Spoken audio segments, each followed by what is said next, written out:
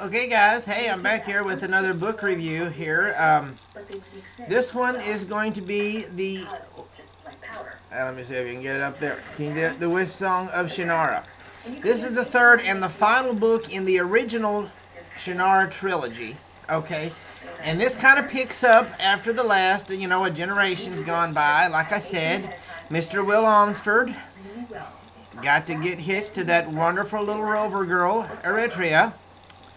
One of my favorite characters. Okay, well now, they've had children. Okay, so we know that the inborn elfness of Will Ohmsford has somehow trickled down to the children again. You've got Brin Ohmsford. She's the older sister. Uh, uh, and, and then we have Juar Ohmsford. Okay, and their little buddy is Rune Leah, who is descendant of Minius Leah from the, uh, you know, from the Sword of Shannara, which is cool.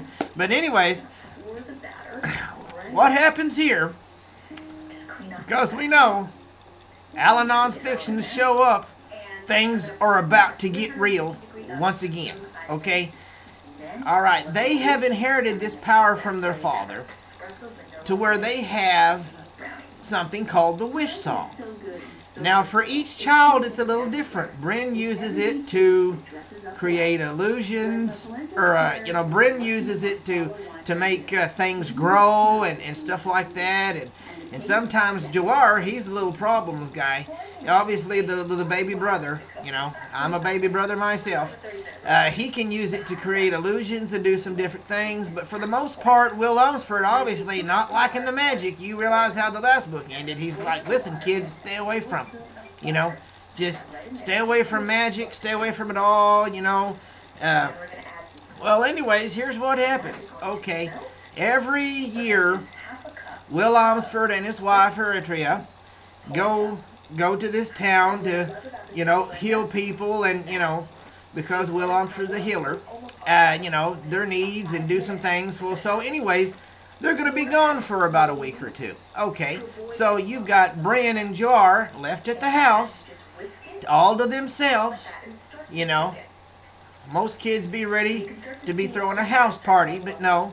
Once again, Allanon shows up. And here's where this gets Ari. What's going to happen is apparently there's been some rumblings that there's these things called the Dark Walkers, aka Mord Wraiths. Okay, now this goes back to the first book of the trilogy when we're talking about this ancient book, the Ildatch, where all this this sorcery and stuff has been collected over the years. Well, now we know the Warlock King, he's gone. Okay, there is no there there is no skull bearers. Okay, so the all the magic that the Warlock used once he was destroyed has since dissipated. Well, the problem is is way back way back in this time where Brona and his followers had first the uh, first discovered the Ildatch. Okay, he had uh, you know he's since perished, but they have lived on apparently long life and everything under you know with nobody knowing that these guys are around. They're Mord Wraiths, and uh, they have hidden this book in their fortress. Okay, surrounding this fortress is this huge forest. That is a it's a it's a sentient being. Anybody that's tried to come through there, they get swallowed up by this forest. Okay, so uh, that's one of the things that's going down here.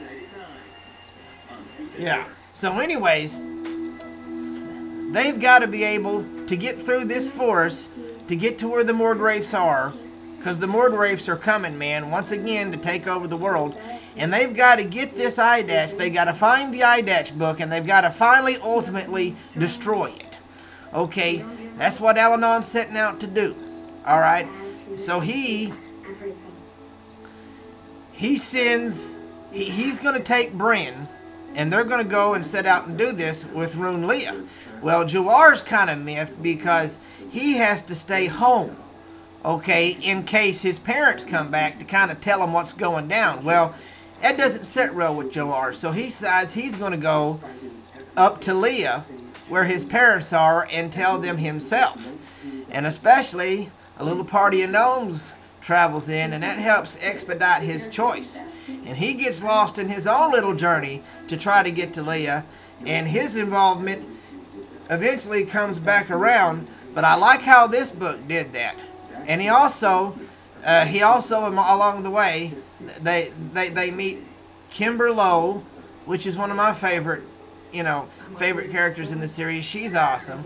Um, and then they have to they have to go about doing that. Things go wrong, horrible things go wrong. You know, certain fates are met in this book.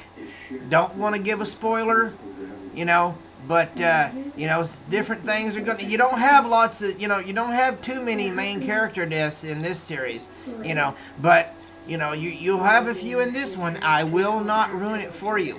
I want you to read and find out. But uh, this tale is pretty good. How Brin has to overcome that thing that she has in her. What is the will song? How can she use it? What what is it? Ha, has it shaped her? Because we all know that magic never you never can use magic without it changing you a little bit, or do you change it?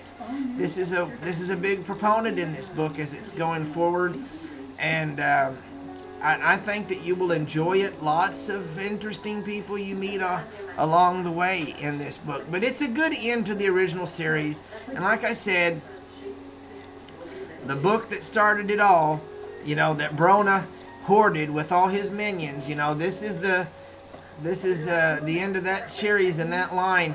And uh, I think it was a fitting end. I liked how it ended. And uh, I'm going to leave that up to you guys to decide what you think about it. Let me know about it. But uh, um, anyways, I recommend I recommend you go out and get this book. It's really good. The Elfstones are also in there too. They play an interesting part. And uh, but read and find out, guys, and uh, keep on reading from my book from my bookshelf to yours. Have a good one.